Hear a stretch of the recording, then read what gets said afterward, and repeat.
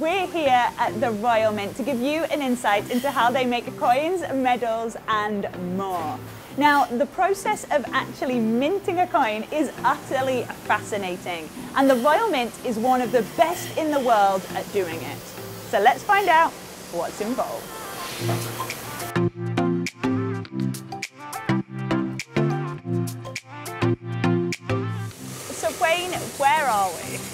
Uh, we're in the Royal Mint in Llantrisant and we're currently in the circulating coin department.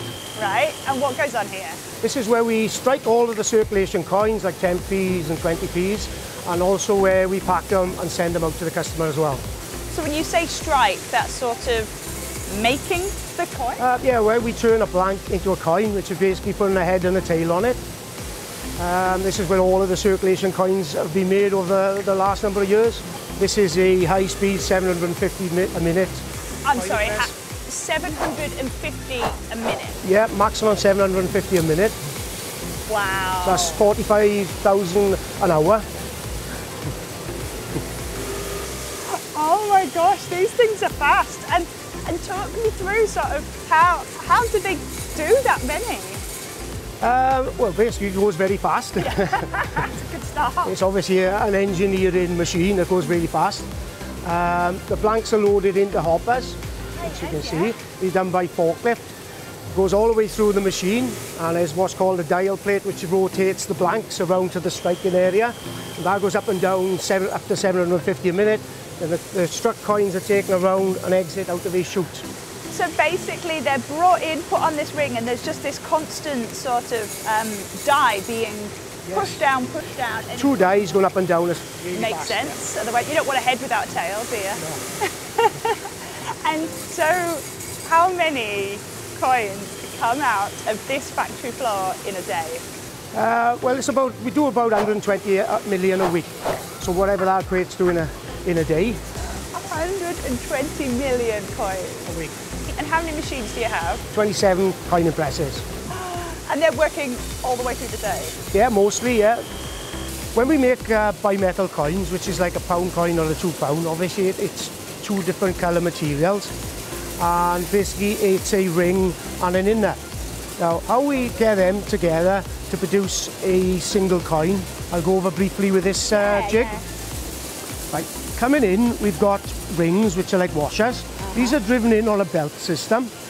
Uh, after, be, after the delivery of the hopper, um, they go underneath what's called a bridge. Then there's a tube system that brings the inners down and gravity fed into the ring. Then the belt system pushes the ring and the inner, which are then assembled further forward, which of these are then taken around into the striking area.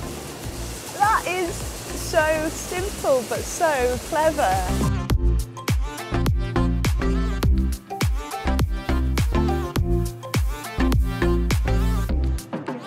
So Ian, what is this? This is our push-out machine. Push out. Push-out machine. Right. What it does, I assume it pushes stuff out, but what? what it's supposed to do is push the inner out of the outer. So this is after you've made the coin, this is a way to test it. Well, as you can see, there's the inner, that's the outer. Right.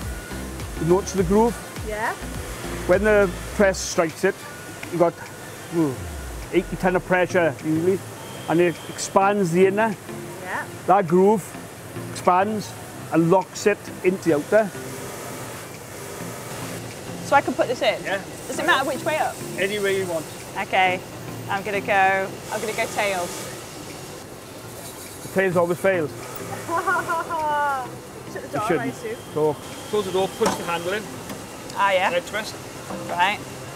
reset the middle. just touch the That scale. one? Yeah. It goes to zero. Just push it harder. Yeah. Yeah, yeah, yeah. Touch the button there. This one. Yeah. Right, come on. Come down. Very slow. And how much pressure, how much force are we talking about? Minimum of 1.2 kilonewtons. 1.2 kilonewtons, so that's like 1.2 ton. Right, you can hear the knock. That's it. That's the amount of pressure that's going through, pushing it. And you can see then This is it. the groove. Yeah. There's the inner. You've just killed a pound coin. Can load. you wouldn't get that back in though. Oh, I like a challenge. Won't get it in. I will not get that back in.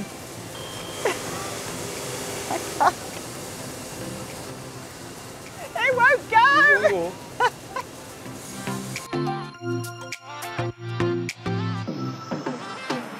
I just can't get over that every UK coin that I have in my possession came from here. It, Yes. Millions and millions and millions of them over the years, yes. I, no, not, not that I have. I, I, no. Yeah, it's quite, a, it's quite simple, a coin in your pocket, but it's quite a difficult process to actually get in there. Absolutely, and it's one that you don't often think about, but as soon as you do, you are like, all these different arms of engineering are opened up. Lots of, lots of engineering, surprisingly. It's brilliant. Thank you.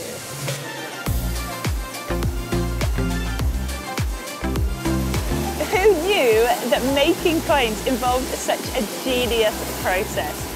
A process that the Royal Mint have made so efficient that they can make 12 coins in one second.